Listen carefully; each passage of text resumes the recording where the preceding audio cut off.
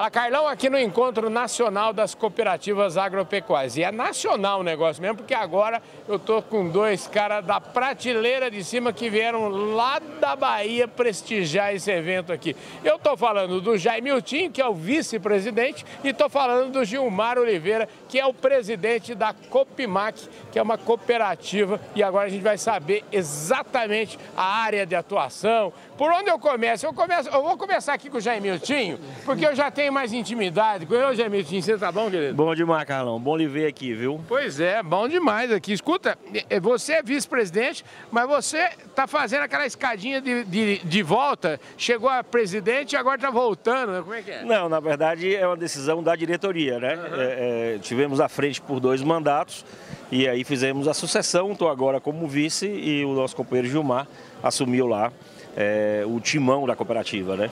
A cooperativa. Ô Gilmar, como é que é essa história aí? Os caras, você não teve como fugir? Não tive como fugir, era um compromisso desde 2014, quando nós assumimos isso lá, e ficou acertado de que a gente ia trocando de, de posições. Mas ele não disse que ele é também diretor da OSEB no ramo agro da Bahia. Escuta, então vamos lá. O que, agora você explica. Ele falou, vamos lá. explica. O que, é o é, Eu represento as cooperativas do ramo agro é, na diretoria da Organização das Cooperativas do Estado da Bahia. Ah, entendi. A gente sempre está tá fazendo esse intercâmbio de conhecimento, inclusive essa missão que a gente está aqui, tivemos uma comitiva boa lá da Copimac, aqui no, nesse evento, exatamente para conhecer, para beber da água do cooperativismo que é feito aqui no Sul com muita maestria há muito tempo. E a nossa luta é exatamente essa, é de levar a educação cooperativista para todos os estratos da nossa sociedade, não só para os cooperados, mas para dirigentes, para a sociedade, para a imprensa de uma forma geral, para os nossos dirigentes, inclusive agentes públicos do nosso município. É uma luta constante, é disseminar o cooperativismo. A gente acredita que só dessa forma que a gente vai é, construir um ecossistema cooperativista e que ele vai encontrar né, um terreno fértil para solidificar na nossa região. O Nordeste precisa é, de grandes cooperativas, é, a gente tem muita oportunidade, nós temos é, culturas e nós temos conhecimento, temos liderança. O que nos falta é exatamente essa educação cooperativista que já é é, feita de forma primorosa, principalmente na região sul do Brasil e aqui no, no sudoeste, no centro-oeste, que já está mais popularizado do que lá para o Nordeste. Maravilha. Escuta, fala um pouquinho da, da Copemac, qual que é o foco de atuação?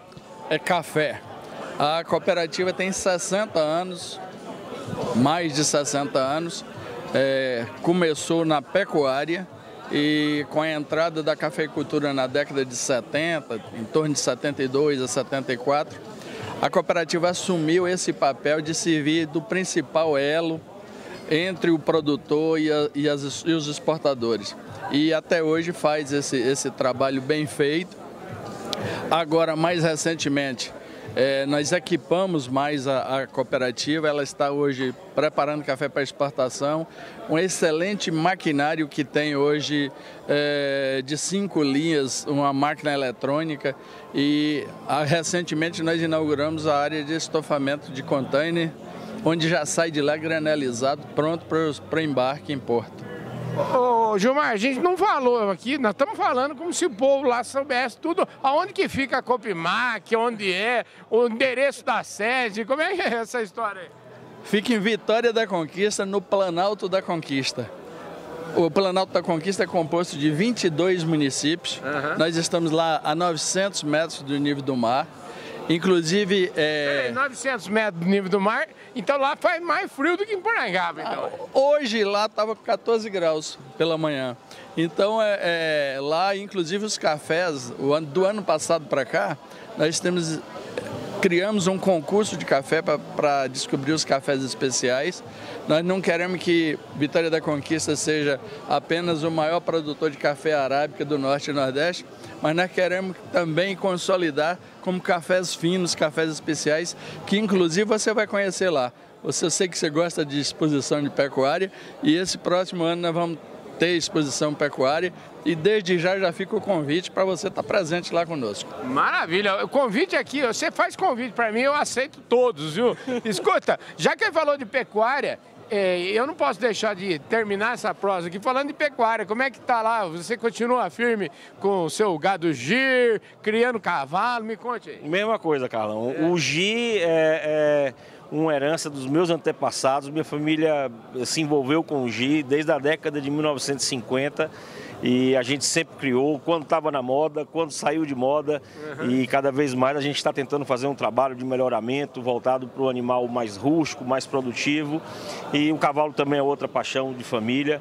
E para quem não conhece, Vitória da Conquista fica naquela localização entre as belas praias do sul da Bahia, de Ilhéus, Porto Seguro, e a Chapada Diamantina, que talvez seja hoje um, um, dos destinos mais procurados para quem gosta de, de, turismo de aventura uhum. e está sendo construído na própria Chapada Diamantina é, é uma cultura de sustentabilidade muito forte.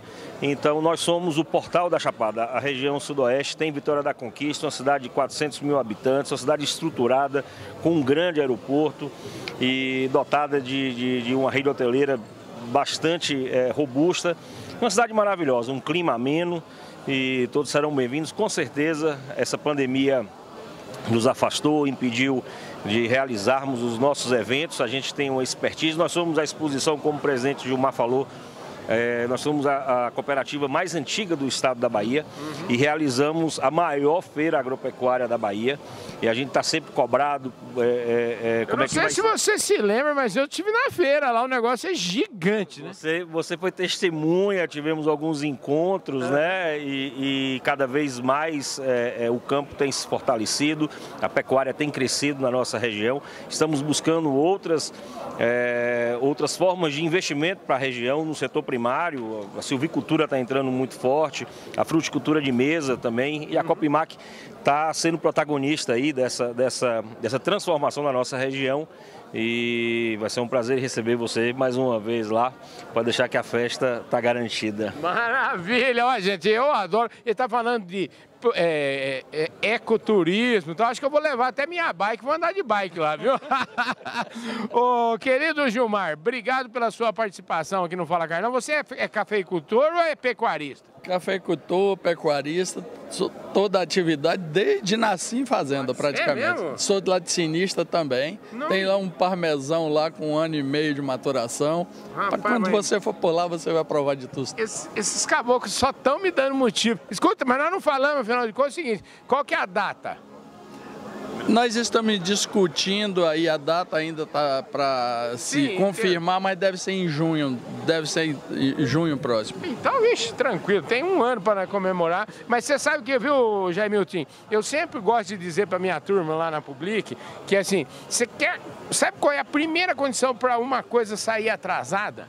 Não, não. É, é, ter prazo bastante. Ah, tá. É, é a primeira condição. Mas, é, mas o compromisso, inclusive essa data vai ser uma data inédita, que é exatamente para a gente fortalecer as festas juninas, que é muito importante para a nossa cultura. É então a gente está querendo puxar a própria exposição para um evento que sensibiliza todas as prefeituras, toda a nossa região. É o evento mais forte do Nordeste e a gente quer trazer exatamente a exposição agropecuária para essa época, para fortalecer é, é, todos os segmentos da nossa economia lá, né? Ó, vou cobrar isso de vocês, hein? Eu quero ir lá. A cobertura do Fala Carlão lá vai ser chique, hein? Até mesmo porque o nosso parque de exposições lá é onde é realizado o Festival de Inverno Bahia. Um evento que já está na 11ª edição, maravilhoso, é, é, é, como é que se diz assim, toma toda a, a, a, a atenção. Da, da, atenção da época, de, acontece no mês de agosto, período muito frio e é uma coisa maravilhosa. Olha aí, gente, que bom. Você que não perde nenhum Fala Carlão, você, acaba... você não podia imaginar isso, né? Que na Bahia, terra de praia, calor, a gente pensa na Bahia, a gente logo lembra do calor da praia, tem Festival de Inverno. Você só sabe porque você acompanha e não perde nenhum Fala Carlão. E por isso eu agradeço imensamente a audiência de todos vocês. Agradecendo aqui, Gilmar, obrigado, viu? Eu que agradeço e fica registrado nosso convite lá para você e para os seus é, para minha equipe. Isso. Maravilha. Jaimiltinho, obrigado, viu? Foi uma honra, um prazer muito grande te receber. Carlão, sempre uma alegria poder lhe encontrar em todos os eventos. Você que é esse cara que é um grande incentivador do setor produtivo nacional. Parabéns pelo programa, pela, parabéns é, pela sua história de vida, que cada vez se consolida com mais essa, essa atitude que é, todo o Brasil já reconhece seu trabalho, quem lhe acompanha sabe disso.